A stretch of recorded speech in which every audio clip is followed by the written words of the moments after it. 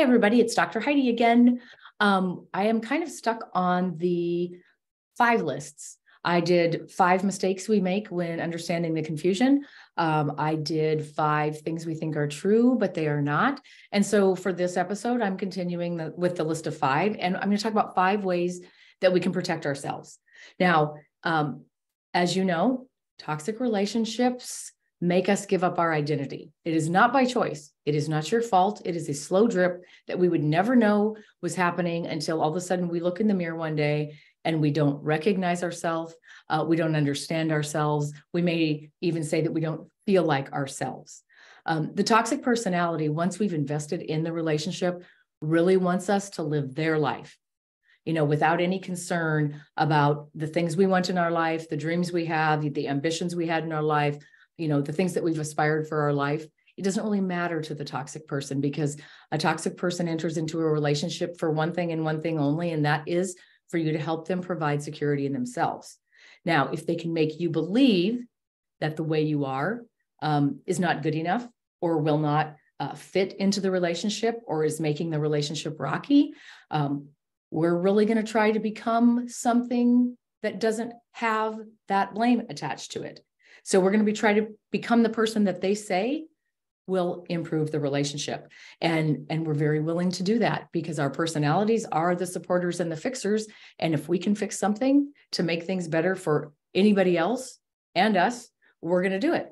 Now, if I if I knew back then, meaning when I was in a toxic relationship, if I knew then what I know now, I would fight for myself. Um, what I went through is I went through years of being told that and believing, believing that I was not good enough, um, that I had some qualities that weren't going to work in a relationship. So if the toxic personality can convince you there's something wrong with you and that you need to change about yourself, um, I began the long spiral downward uh, into unacceptance and even self hatred. And I say self hatred, I hate using that term, but um, I've gone through a lot of things in my life where I felt like disappearing. Okay. To me, if I feel like disappearing, not meaning harming myself, just I'm never going to be accepted. So if I just disappeared and the people that I know now didn't know where I was, I'd have a fresh start and maybe the new people would accept me. Now, obviously, I've never done that. Um, but but when I think about some of the things that I tried to change and then it still didn't help, you know, that feeling of, oh, can I just disappear for a second was kind of comforting. But but why was it that I was so willing uh, to change who I was? Well, again, if I knew the things I know now, I would act different. But you know, I thought I was doing what I was supposed to do in a partner type relationship. You know, we compromise, uh, we give, we put the other person first we cling to our new partner and we leave our old life. You know, this was my new life now and I chose it. Um, some of the negative ones are relationships are work, or you made your bed, you need to lie in it, or you know, don't go back on your word. You made promises, you can't break them. And so, so me going up against the feelings of all of those commitments really made me go, okay, well, here I am. Uh, I guess I better fix it. And you know, there's a term that I made up. Uh, I make up a lot of terms just because I think they're fun, I guess. Um, but there's a term that I made up that really summed up what I felt like when I had spent years in an unhealthy relationship. And um, I didn't understand it at all. But the term that I made up was toxic identity theft. And you guys have probably heard me um, say that. In fact, I think one of my podcast episodes is actually called uh, Toxic Identity Theft. But you know, when I stepped into this relationship that wasn't healthy for me, I, I'm not sure that I had a total grasp on who I was anyway. Like I was young, I was still learning, I was still growing. I hadn't really figured out how I was supposed to adult yet. You know, but I probably still haven't completely figured that out. But because of that, I was easily convinced that there were things about me that that may be unacceptable or maybe incomplete or maybe I just didn't understand well enough that the way I was wasn't really going to work well in this committed relationship. Okay. Um, I did, however, know that before I stepped into this relationship, I was I was very extroverted. I am social. I am fun. I am funny. I like to make people laugh. I like to be around people. I, I was not afraid of adventure. I wasn't scared of a whole lot. Um, I, I knew I was average, but hey, you know, my personality and me being fun and and fun loving and and like liking to be in the center of it kind of made up for the fact that I was average in sports and average in grades. That just didn't that just didn't mean as much to me. But the longer I spent in this so-called committed relationship, I found that all of those things that I knew about me didn't really fit into this relationship very well. Um, I was too loud. I was too outgoing. I was too social. I was too happy. You know, how come you always have to be so happy? And I was too positive. You know, you don't have to make everything positive. What are you better than better than everybody else that everything is so positive? So some of these things that that I really felt like were good about me evidently wouldn't fit in this relationship and the things about me like that were going to make this relationship unsuccessful according to my partner right and and i was i was made sure that i understood this and it was apparent to me through the criticisms through belittling through embarrassment through disrespect through punishment you know through um, name calling you know those were the things that that were used against me to make me feel bad enough for the person I was to change it. Okay. Now, these type of things that we hear are the things that make me the most sad when I work with clients in or coming out of or healing from toxic relationships because these are the things we put in our little handbag and carry them off into the next part of our life. And I will promise you that 15 years later, I still have some of those things in my handbag. Now, they don't always pop out, but every once in a while, here it comes. And I know that that you guys listen to me and I know that you think, "Oh, Dr. Heidi's so strong and she's like totally healed and totally overcome." Well, there's days I'd like to think that, but there's days I am right where you are. And and I guess that's good because you guys need to know we don't have to fix all this. We just we just have to understand it and have strategies when things pop up. But through all of this, you know, belittling and name calling and criticisms, I started I started believing the words. And so everything I knew about myself that I felt was good and positive seemed to disappear. And it it disappeared because I wanted to be accepted in this relationship. I wanted to be good enough in this relationship. I didn't want to be blamed for the reason this relationship felt rocky. I didn't want to hear that it wasn't working because of me. When when I had facts and I had evidence and I had the reality of, of what I observed that would have told me that it's not me. But when I'm told that over and over and over, and there's an excuse for all their bad behavior and it's blamed on you, if that's the only environment that you have that you're living in and you're trying to survive in it, you don't have a choice but try but to start adapting. So I gave up everything that that I stood for. I gave up my values and I, I, accepted things I wouldn't have normally accepted. I put up with things that I wouldn't have normally put up with. I took the blame for things that were not my responsibility. I, I lived in a cloud of, boy, I hope I can make it through the day being a person that's not blamed for how bad this relationship is. I was asking permission as an adult. I was isolating myself from my friends, from my family, from my hobbies, because it was easier for me to quit things and cut people off than to have conflict all the time in the relationship that I had at home. I was overthinking everything. You know, you're not just you're not just an overthinker when you're in a toxic relationship. The overthinking is being created by the fact that you have to survive. So you overthink things that a normal person in a healthy relationship wouldn't think twice about. I was I was fearful. You know, I wasn't always fearful for my physical safety, but I was fear of upsetting them and not being good enough and having conflict with them. So there comes the walking on eggshells. I just want to be accepted. You know, I remember getting up in the morning thinking, okay, I'm going to do everything right today. And by 10 o'clock in the morning, that was completely out the window. So then you spend the rest of the day backtracking and trying to make up for this awful, awful mistake you made at 10:30 in the morning when it probably wasn't even a mistake to begin with. But I was insecure. I was putting no time into myself. Um, I was lonely, you know, and I'm going to add to this too. I paid no attention to my life. I was home um, a week and a half ago for my dad's 80th. And my mom gets out a bunch of pictures of my kids when they were little. And she says, Here, Heidi, I found these when I was cleaning out. Do you want these pictures? Well, I started looking at them. I don't even remember my kids when they were little. Okay. And I could feel that I was getting tears in my eyes when my mom handed me these pictures because I looked at them and I don't remember my kids when they were that age. So I was putting so much energy into keeping him happy and hoping this relationship was going to be better and hoping I could make it better. I didn't even enjoy the little things that you should be able to enjoy, like funny things your kids say, how cute they are. You know, um, I don't really remember them being naughty because I don't remember anything. You know, and and when I think about how I was in that relationship, that was nothing like the person I was before I stepped into it. You know, looking back now, seeing the person before the relationship, seeing me in the relationship, and now seeing me out, I am completely a different person. Now, when I was in it, I really fought to get the person from the beginning back. Now that I'm out, I don't want either of them because that relationship made me so much stronger and I had to learn and I had to grow and I had to scratch and fight and to get myself back.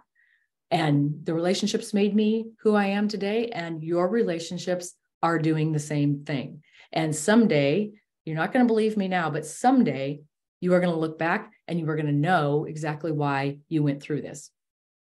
Now, I put myself, I put my life, I put my security, I put my worth first. That's a priority. And, and I say I will never again allow that to happen. And I will never again allow myself to be unprotected, but I do. I do. I I fall I fall down because sometimes um, I fall back into the cycle of trying to be accepted if I feel like I'm not. So what I have done is I have five things um, that I have made sure to keep track of every year four or five times. I often review them so that I make sure that my relationship with myself is on track. Uh, I cannot have a relationship with anybody else unless I am true to the relationship that I have with myself. If my relationship with myself is faltering, my communication with my daughters is not as good. My communication and relationship with my husband is not as good. I may get snarky. I may detach from my friends. So I have these five things that I revisit a lot during the year to make sure that I'm doing what I need to do. Um, if you are in a toxic relationship, if you've removed yourself from a toxic relationship, if you're trying to heal and understand, I want you to really think about these things no matter where you are in your journey. Okay. Now, some of these are going to be easier than others. And, and I encourage you to really keep track of what's easy and what's not. The first thing you need to do in order to protect yourself is you need to know who you are. Okay, write down what you know to be true. Write down what you remember about your true personality. I just listed a little bit ago. I knew I was extroverted. I knew I was social. I knew I had to have fun, those kind of things. What is it that you know or knew about who you were before this relationship? And if you were raised in a toxic environment and now ended up in maybe a toxic marriage or a toxic friendship or something like that, start start writing down the things that you know you're strong at the things that you're good at, the things you've enjoyed, because those are going to be the same things that kind of defined your personality. How did you how did you interact with people? You know, how did others interact with you? What types of conflicts did you have with people? Who were these people and how did you resolve them? Because you're going to notice that there's certain people that are easy to resolve conflict with and there's certain people that are more difficult. Write down the compliments that you've received. Write down what other people have said your strengths are. So at least you have a little bit to go off of of who you are. Because knowing who you are as a person, that's going to help protect you from toxic identity theft. Now, the second thing is to know your values. Okay, everybody says that. What know your values? It's just like love yourself more. Yeah, know your values. What is what is a value? Values are the roadmap of your life. They are each individual person's beliefs that guide you in your actions and your decisions throughout your life. You have a set of values that you believe in, that you hold yourself to, so that you act in a way that you are proud of. Now, Um, I use them as a roadmap. If I have to make decisions, if I step into a relationship, all of everything in my life should be supported by my value system. So, values are your roadmap to guide you in your beliefs, your standards, your morals, and your ethics. Now, when you are in the never ending cycle of unreachable acceptance, we begin changing our values because values, in a way, are boundaries, right? And in a toxic relationship, boundaries mean we have control. The toxic person doesn't allow us to have control. So anything that that resembles a boundary or a value, they're going to criticize. So when we're in this un- unending cycle of unacceptance, we start changing who we are to become what they need by clouding the borders of our values. We start allowing a little bit more, um, not worrying so much about keeping our values strict, and we began we begin to change them so they accommodate a little bit more to what the toxic person believes. Um, because because we're seeking acceptance and we're seeking to be good enough. So if we can just fit better into their value system, we will feel better um, about being in that relationship. You know, these are the things that we want people to see when they look at us, when they describe our character. These are the these are the things we want our kids to see when our kids look at us. These are the things we want people to say about us at our funeral after we're gone. You know, examples of values are loyalty, honesty, kindness, integrity, um, selflessness, compassion, honesty. Um, these are the unwritten rules which we live by. Now, toxic people not only will push back on our value system, they also often will insult our value system and they're going to pick on the values that you are strongest in. For an example, if you are a very loyal person, the toxic personality is going to accuse you of being disloyal. If you are a very honest person, they're going to accuse you of lying. You know, if if you are very productive and you have a great work ethic, they're going to tell you that you're lazy. Okay, so now if we think the way the toxic personality thinks, why would they do this? Why would they want to knock us down in the best attributes that we have? Okay, the reason that is, is they want us to feel unaccepted no matter where we are. And if they say we're a liar, if they say we're disloyal, and if they say we're lazy, what are we going to do? We're going to jump back on that treadmill to prove that we're loyal, to prove that we're not a liar, and to prove that we will work hard. And where is our attention the whole time? Well, it's on them because we're seeking their acceptance. We're no longer living for us and living for what we want and being self accepting. Now our entire energy goes into them accepting us. And, and they know if we're working very hard on ourselves by trying to do what they say we need to do, they're pretty safe because your attention is going to stay on them all the time. And in that way, you don't have any leftover attention for yourself which means you're not going to secretly go get secure about yourself because you don't have any time to invest in yourself. Uh, when we give up our value system, we become very pliable. Now, I always held honesty as a value of mine. Now, I think it's probably because I can't lie. I can't even fib, and people know this. But I always thought, uh, you know, I hold honesty as my value system. Okay, for somebody who says she holds honesty as a value, then how come my toxic person was able to lie to me and cheat on me and gaslight me and convince me that everything that mis- he misbehaved over was my fault. Okay, someone who says that says that their honesty is their value system, yet the relationship that they're in is anything but honest. That's not me making my values apply to my life. And that's what I'm very, very cautious of now. I redo my values four times a year because I always want to stay on track with the different things in my life and my values being supported. Now, you can you can find um, ways to assess your values on the internet. In fact, I have um, a top value discovery uh, homework assignment in the Freedom Me online program that's available for purchase on my website. My entire program is in a written form. If you're in a place where you need to print it out, put it in a binder, and hide it, um, there's the top value exercise in there, and that's the exact one I use. I have five of them printed out on my desk at all times in case I need them. If I have to make a decision, if I'm feeling insecure, if I'm feeling off balance, I get that exercise out to recenter me on what my beliefs are. You know, and I really started paying attention to this when you guys started listening to my podcast. Okay, people are seeking answers from me.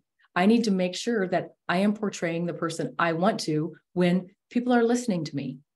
And so it's very important for me to uphold my value system. Values change as you grow and as you become stronger and you adopt them and you don't need them on a list anymore. You know, nobody needs to tell you that your family is valuable, but somebody might need to remind you that honesty is one of your values so that people in your life shouldn't be lying to you. So, knowing your values and being able to stand up behind them and keeping them in every area of your life is going to protect you from toxic identity theft. Number three, know what you want in your life. This is a lot easier said than done, right? Uh, your attention has been on them and what they want in your life. And when somebody asks you what makes you happy, we say, I don't know. What's your favorite color? I don't know. They always wanted me to wear yellow. You know, well, do you have any goals? Not really. Where do you want to eat? Wherever you want to eat. Okay, we have to start learning what we want in our life. It's a hard question because we haven't been paying attention to that. And the easiest way for you to start thinking about this is just take out a piece of paper and give yourself 30 minutes and graffiti all over the paper anything you've ever wanted, even if you think it's completely out of reach. Because then at least you've got it on paper. Now, some of you might sit there for 30 minutes and have two things written on the paper. But when you put it out there, if you believe it or not, at least it's out there and it's something to think about. Um, I did this once, maybe seven years into my former marriage. I was at a seminar. They gave us 30 minutes to write everything down. And I thought, well, this is dumb, but I'm going to fall asleep because this is an insurance seminar. So I may as well participate. And I ended up writing three and a half pages of things that I would want in my life. But then when I went home, I folded it all up and I put it in um, the top of my jewelry box. I never ever looked at it again until seven years later, when I was getting ready to leave that relationship and getting ready to relocate to a different place, I found it. I never ever read through that list again of what I wrote down that day that I wanted in my life, and I had over 60% of it. Now, they say that that a goal is just a dream until it's written down. And it was very eye-opening to me. So I started doing that a lot. Write down what you want, but then I started reviewing it because when I start when I'm paying attention to it, it's a lot more prevalent in the front of my mind and it keeps my attention on it and I work for it. it then I start concentrating on that type of thing. So knowing what you want is going to pre- is going to protect you from toxic identity theft. Number 4, know that you have permission to make a change. You know, over time we become so intertwined with the toxic person and that's exactly what they want. We have a time investment. We have a money investment. You know maybe there's children there's commitments there's promises. We are in in these communities. We're in social circles. The, there's families involved. Now there's finances involved. We had these hopes and we'd had these traditions and and we've got this vision of what we wanted. And when we think of making a change we feel like we can't because there's so much invested i remember feeling like i was in prison I remember feeling like I was stuck, I was suffocating, and this is where I will spend the remainder of my days, right? Because when I thought about getting out and making a change, all of this stuff that was intertwined just seemed like way too big a mountain for me to cross. And I reached my half past quarter till I don't give a crap one day, and I literally changed everything in one fell swoop, I disconnected from every single thing that once kept me intertwined. Now, you don't have to do it like that, but you do have to realize that when you feel stuck and you feel like you're in a prison, you still have the permission to leave a situation that's not healthy for you. Um, I know that it's easier to step into something that it's easier to stay in something that's familiar than to step into something you don't know. And when we think about all those things I just listed, it makes a really good excuse for us to stay. Um, I, I was in a prison and there wasn't even a door. I could have walked out at any time, but I did not feel like I could because I would weigh all of these intertwined things and it would just seem too overwhelming. So if you need permission to make a change, today I'm giving you permission to make a change. Um, now, if I start feeling stuck in any area, if I start feeling burned out in work, if I start feeling yucky in, you know, just my day to day life, I know I need to change something. Now, for somebody who used to be scared of changing anything, um, I'm pretty addicted to change right now. And it's not that I don't have fear. It's it's that I know if I don't change something, I have the fear of staying where I'm at.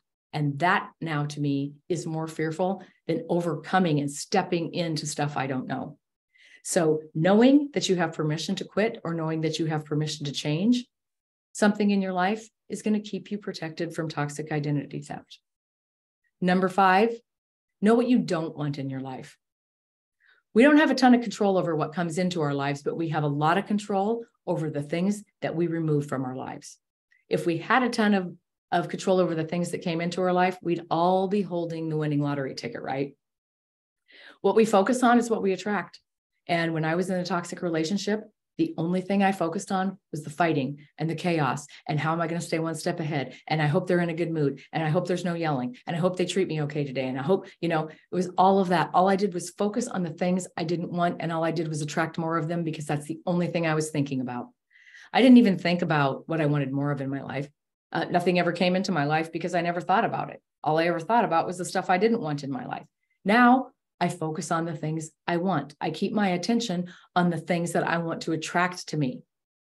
And I don't focus on the things I don't want. Now, I'm not saying I do that perfect because there's days I get very overwhelmed, but make a list of the things you don't want in your life. Then identify what is the number one thing that's bringing this thing into my life that I don't want so that you'll have a clearer picture on what you need to remove, get rid of, change, leave behind in order to be able to focus and think about the things you want in your life. Knowing what you don't want in your life and identifying what's bringing it into your life is, is going to protect you from toxic identity theft. Now, these are all, these five things are things I review periodically every year on a regular basis in order to make sure I am living the life that Dr. Heidi wants to live, to make sure that I'm making the decisions that are best for Dr. Heidi and to remind me that the person that I knew and that I know myself to be does not get stolen or compromised by somebody else making me feel unaccepted or unworthy. So, so watch out because even though I'm not Dr. Heidi 100% of the time, like I would like to be, you know, I trip and fall and I I get discouraged and and I get down on myself. But but for the most part, watch out because that loud, funny lady that talks too much, she's she's back. And you know what? I really really like her